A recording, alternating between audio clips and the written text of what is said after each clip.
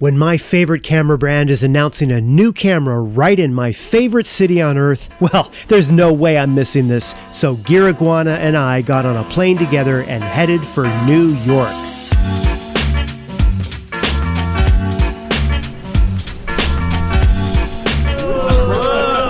Hey Omar, let's go to the Fuji section. let's go. it's that away.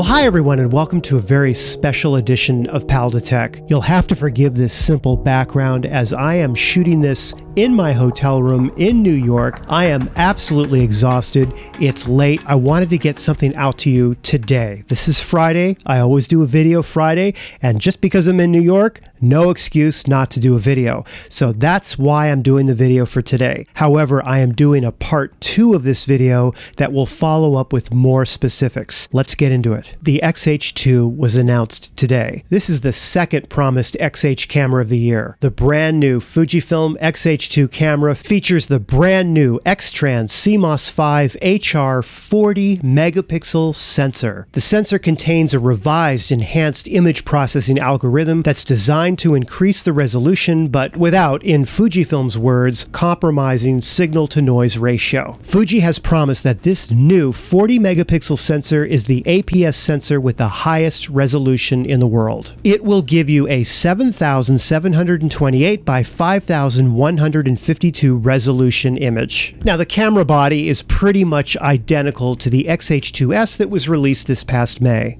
But under the hood, this new camera packs a lot of features. It uses a base ISO of 125 and promises to have a very impressive low light performance. You can extend the ISO all the way up to 51,200 for still photography and up to 12,800 for video shooting. And you can extend the ISO all the way down in the opposite direction to 64 for still shooting. Now, here's something really cool. With this new XH2, you get a 1 180 thousandth of a shutter speed, 180 thousandth of shutter speed in electronic shutter on this new camera. Sorry, I'm tired. On this new camera, I actually got to pick up and handle the camera right after the presentation, and the very first thing I did was put it in that high shutter speed because I just couldn't believe it. And yet, there it was. It was so cool to play with and see it in action. The camera also has a seven stop built in IBIS, just like the XH2S and the XT4. So now you're getting a full 40 megapixel sensor combined with IBIS. And it also has something brand new to the X series of cameras Pixel Shift Multi-Shot. It allows you to set the camera to take a series of shots, and then between each one, it shifts it by just half a pixel, which combines everything into one much larger resolution image. So, for example, your 40 megapixel image becomes a 160 megapixel image. And this pixel shifted 160 megapixel image has zero false color. And by the time you're watching this video Friday morning, I will be out in New York City handling and testing this camera with autofocus. So I can't report on it tonight.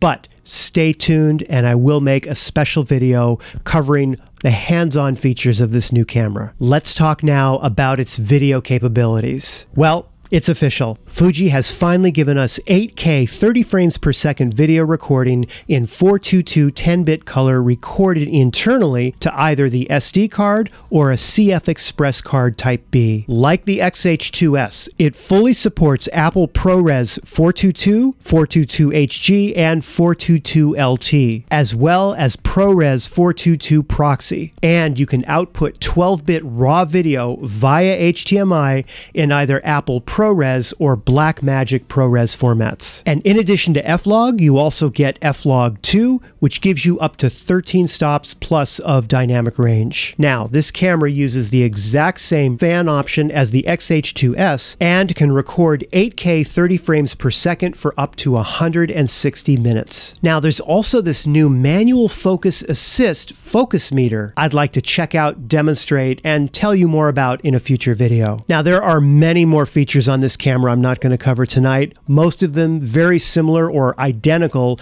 to the XH2S. I will leave a link to the full specification of this camera in the description down below this video, and I encourage you to check it out to see everything that this camera has to offer. The XH2 camera will be priced at $2,000 and it will be available this month. Now, next on the list is the 56mm f1.2 RWR lens. Now, this is sort of a sequel lens to the original 56mm Fuji lens, and this time around it is all grown up. It's got 13 elements in 8 groups, and the aperture ranges from f1.2 all the way to f16 with an 11 blade aperture. It weighs 445 grams and has a filter size of 65 millimeters. But check this out, are you ready for it? It has a minimum focus distance of 50 centimeters. Definitely more to come on this lens if I ever get a test unit to test. This lens will sell for $999 and it will also be available this month. And finally, we have the brand new GF 20 to 35 millimeter f4 RWR lens for the GFX system. This is obviously the new wide angle lens for GFX and has 108 degrees as a diagonal field of view. This is 8 degrees wider than the GF 23 millimeter 100 degrees. It weighs 720 grams, has a filter size of 82 millimeters, and a minimum focus distance of 35 centimeters. The lens will sell for $2,500 and, like the other products, will be available later this month.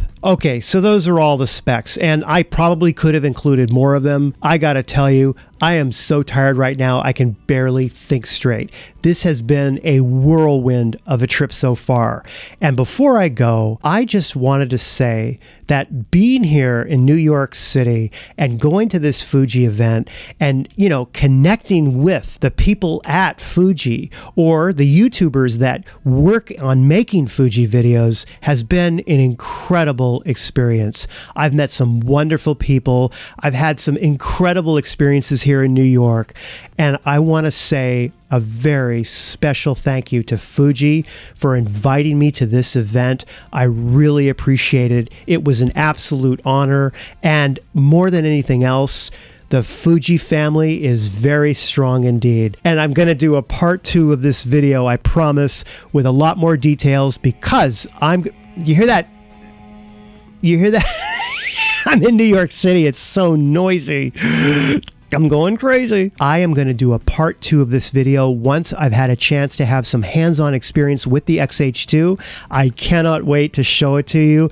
In the meantime, stay tuned. Thank you so much for watching. I really hope you enjoyed this video or found it entertaining, found it helpful, or I can't even say my outro. I'm so tired. Anyhow, I hope you liked the video. If you did, give it the like and subscribe and I'll see you in the next one. Have a great weekend. This is pal2tech signing off from New York City. Take care.